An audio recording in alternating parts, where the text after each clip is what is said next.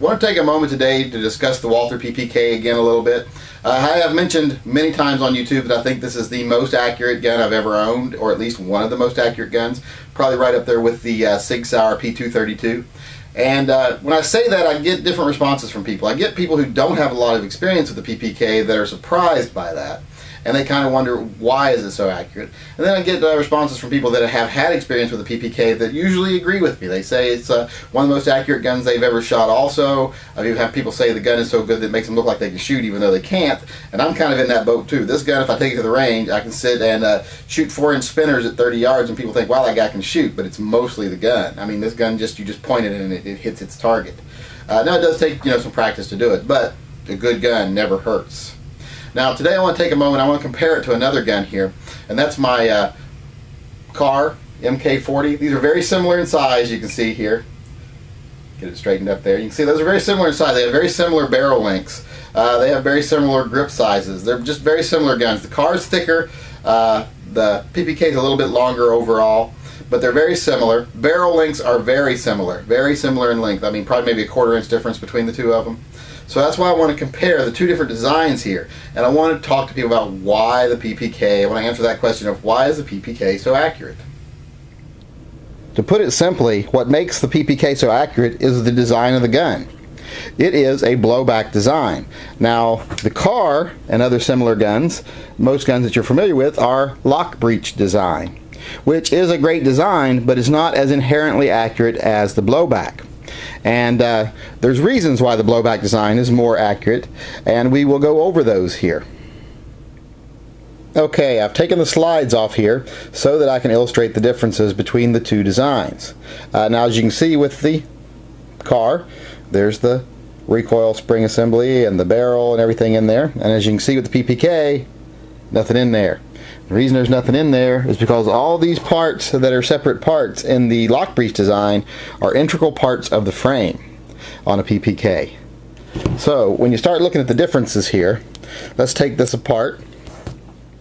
Okay, now we've got that apart. Here's the barrel for the Kahr. Now, your barrel and your slide have to be locked together. If they're not locked together, you're not going to get accuracy from your sights. They have to be tightly locked together to get a really good accurate uh, sight picture, to get a really good accurate, accurate shot. Now, the thing with the lock breech design is this barrel, when the slide cycles back, because of the way they're designed, they have to tilt up a little bit. So there has to be a little bit of movement between the slide and the barrel because they're two separate pieces. It's separate from the frame, it's separate from the slide, and it has to be able to move a little bit when it when you fire the gun. Now with the PPK, that's not the case. It does the barrel does not move.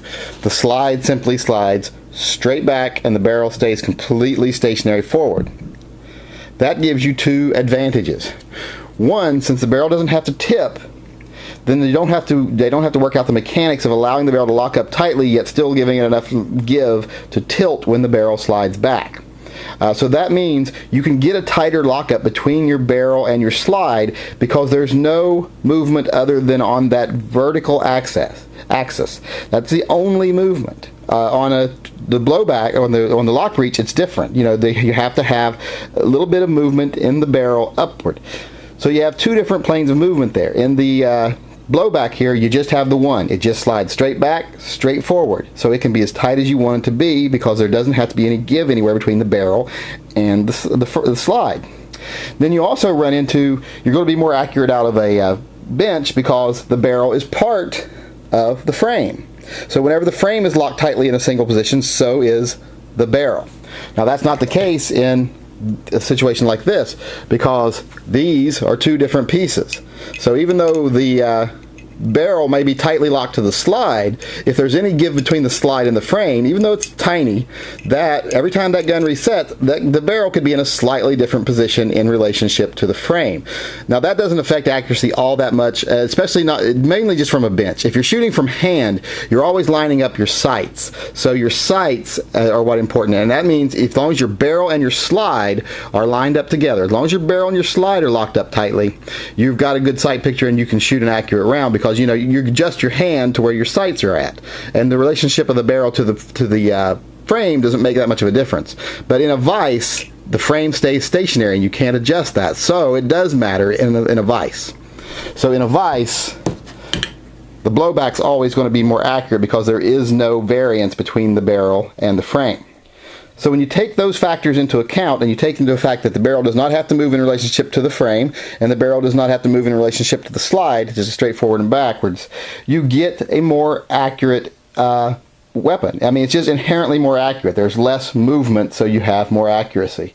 Uh, now, on the blowback design, there's a reason why blowback's not optimal though because because of the fact that the barrel doesn't move it doesn't absorb any of the recoil so all the recoil is going straight back into your hand I mean it's going straight out of that barrel and straight back into your hand whereas with say the lock breech here some of the recoil is being taken away by the barrel slide by the barrel tilting upwards that and not being a part of the frame or the slide. Some of that uh, recoil is allowed to dissipate and some of it is taken from the barrel itself moving. So you get less recoil from the lock breech, but you get a more accurate gun with a blowback. That's why the SIG P232 and the PPK are just guns that are so, most people find them so easy to shoot. It's just the difference in design.